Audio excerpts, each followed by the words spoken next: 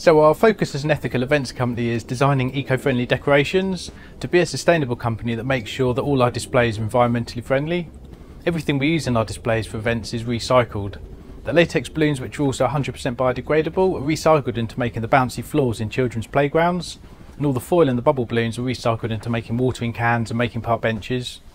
Uh, most of the balloons we use in the large displays are latex balloons, and it's quite important for us to know exactly where the latex comes from so the rubber trees in the tropics are not cut down for the rubber, they're simply tapped for their sap for like up to 30 years and then the rubber is collected without harming the tree.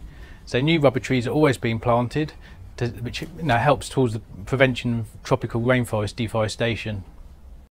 Latex balloons were 100% biodegradable and when they're exposed to sunlight they oxidise and decay. Uh, because they're made from the sap of a tree they'll disintegrate in the same way that wood from a tree will rot. So you could put the latex balloons in your compost heap at home and they'll just decay to compost. However, as we're passionate about the environment at Castle Balloons, we've set up the Castle Balloons recycling program. So we collect all the balloons from all of the displays and then we recycle the balloons into making useful products, like the playground floors. It's also important to us that our customers are responsible and look after the environment by not releasing the balloons into the sky. Even though it might look nice, you know, balloons that are released cause litter and possible risk and harm to wildlife. So we educate all of our customers with this information um, and then once they finish with their balloon, they return it to us and it goes into the Castle Balloons recycling program.